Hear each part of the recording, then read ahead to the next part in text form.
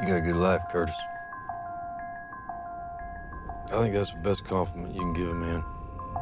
Take a look at his life and say, that's good.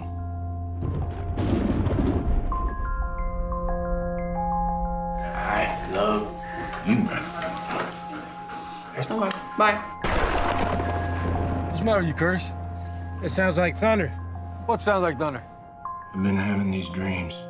They always start with a kind of storm.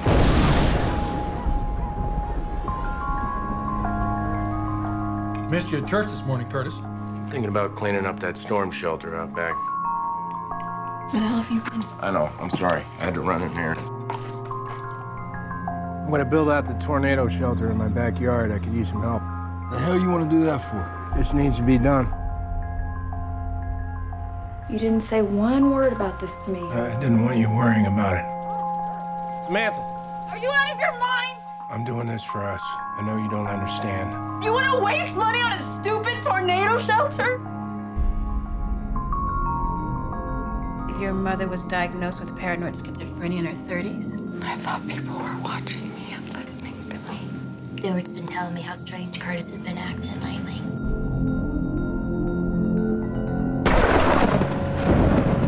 Is anyone seeing this?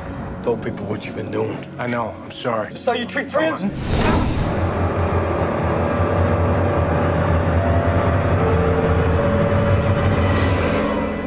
Are you okay? Yeah, I'm fine.